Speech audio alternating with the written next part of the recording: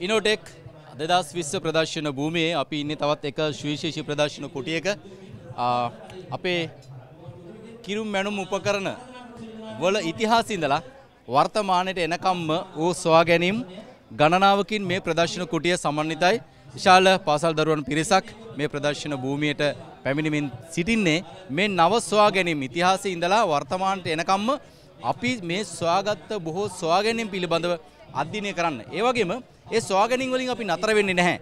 ඉන් ඉදිරියට තාක්ෂණය භාවිතා කරමින් අපි අලුත් ජාතියක් විදියට නැගිටින්නට අපේ ජාතියට අනන්‍ය වූ ඒ ස්වාගැනීමේ ශක්තිය භාවිතා කරමින් අලුත් සමාජයක් නිර්මාණය කරන්නට අලුතෙන් හඹායන සමාජයක් ගොඩනගන්නට තමයි අපි මේ ත- ආ, ප්‍රදර්ශනය සංවිධානය කරලා තියෙන්නේ. ඉතින් මේ භූමිය අපට දැක ගන්නට පුළුවන් අතීතයේ ඉඳලාම වර්තමානට එනකම්ම අපි භාවිතා කරන සහ ඒ භාවිතින් ඔබට රැගෙන යන්නට පුළුවන් අලුත් තාක්ෂණය කොහොමද හඳුන්වා දෙන්නේ කියන එක පිළිබඳව ඒ තාක්ෂණය භාවිතා කරන්නේ කොහොමද කිරුම් මැනුම් උපකරණ සඳහා ක්‍රියාවලිය සඳහා භාවිතා කරන්නේ කොහොමද කියන එක පිළිබඳව බොහොම හොඳින් පැහැදිලි කිරීමක් මේ පරිශ්‍රයේ සිදු කරනවා.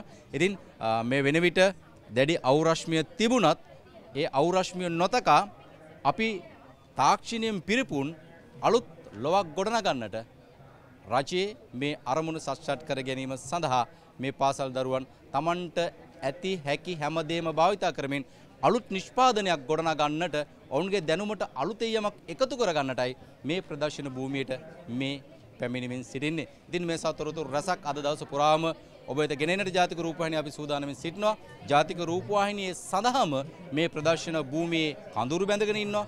මේ දරුවන්ගේ දක්ෂතාවන් හැකියාවන් පිළිබඳව රටට ලෝකයට කියන්නට. ඉතින් මස් තොරතුරු රසක් ඔබ වෙත ඉදිරියේදී ගෙන මේ බලාපොරොත්තුෙන් සමගන්නම් ගාමිණී බණ්ඩාර මැණික් දිවල ඉනෝටෙක්ස් ප්‍රදර්ශන භූමියේ සිට